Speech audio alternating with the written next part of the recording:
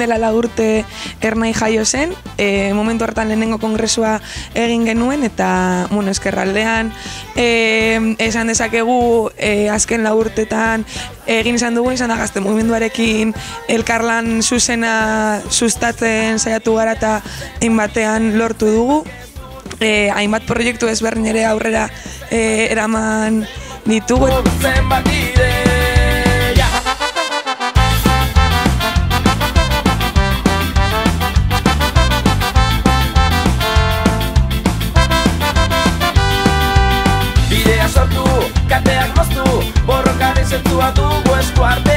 Momentu honetan ba, e, ikusten dugu la urte pasa ondoren ernaik bere bigarren kongresua aurrera eman behar du, eraman behar duela, e, izan ere e, berrogokitzapen batzuk aurrera eraman behar ditugula, bai gazte estrategiaren inguruan, e, baita antolakuntzaren inguruan ere.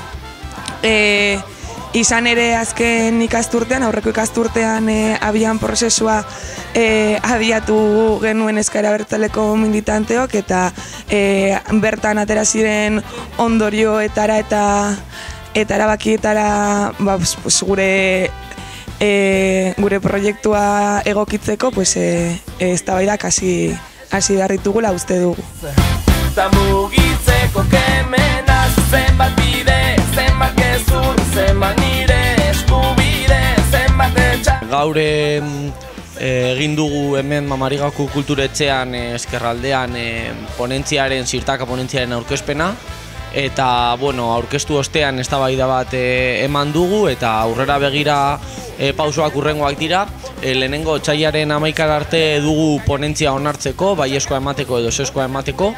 Ostean emendakin eta eztabaida fase bat irekitzen da eh, martxoaren amazazpira arte. Eta behin emendakinak eginda, martxoaren hogeitik, martxoaren hogeita marrera, emendakinak boskatzeko e, epea irekiko dugu, amaitzeko apiriren batean egingo dugun e, e, kongresuarekin, izango dela prozesua itxiko duena. Eta, bueno, ba, aurrera begira jarraituko dugu txinaurri lanean, jarraituko dugu e, espazio txikietan gure ekarpen txikia egiten, baina ekarpen txiki guzti horiekin, ba, eraldaketa prozesu bat aurrera manten.